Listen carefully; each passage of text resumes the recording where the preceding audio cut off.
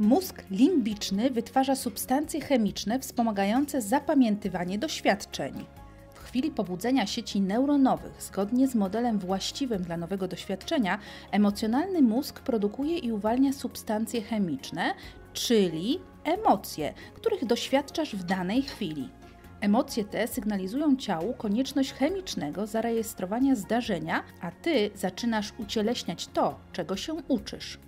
W tym procesie mózg limbiczny wspomaga kształtowanie się długotrwałych wspomnień. Możesz lepiej zapamiętać każde doświadczenie, ponieważ jesteś w stanie przypomnieć sobie, jak się czułeś, kiedy dane zdarzenie trwało.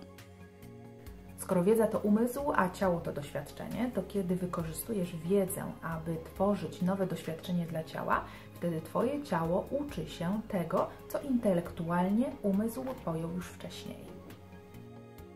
Wiedza pozbawiona doświadczenia to tylko filozofia. Doświadczenie bez wiedzy to ignorancja. Musi nastąpić pewien postęp. Musisz skorzystać z wiedzy i przeżyć ją, wchłonąć ją emocjonalnie.